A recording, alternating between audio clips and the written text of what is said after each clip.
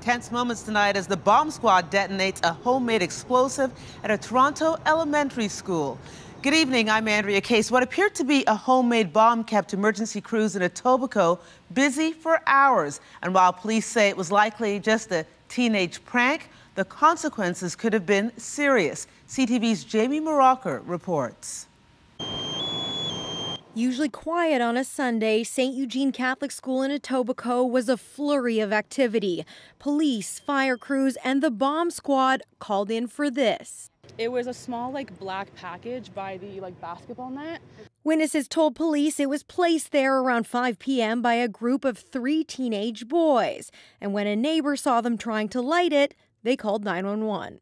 I mean, it looks like your, your stereotypical Acme bomb, you know, that you would see in a cartoon, really. But it was no joke. This guy, kind of like in a bigger, like black protective suit, walk over and he kind of like poked it or something. Mm-hmm.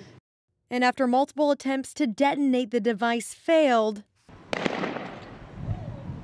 police decided to bring in the explosive detonation robot. We just don't want to take any chances of, of, of touching something like that. Warning our cameramen of dangerous debris before pushing everyone back.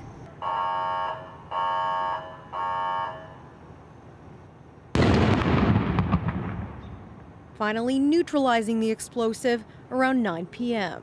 Uh, it did work, and there's no more danger to the community here.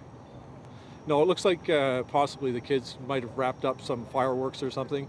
And while police say this may just be a case of kids being kids, it could lead to mischief charges. Meanwhile, the Toronto Catholic School Board says it will hand over any video footage. School is slated to open tomorrow. We'll have a counseling team uh, on standby just in case they're needed. But tonight, residents are just trying to get back to normal. It's, it's scary, but hopefully we're safe and everything's good. Grateful no one was hurt. Jamie Mauracher, CTV News. And we are live outside the school tonight where it is much quieter now. The school board says security is on scene and will be there for the duration of the night.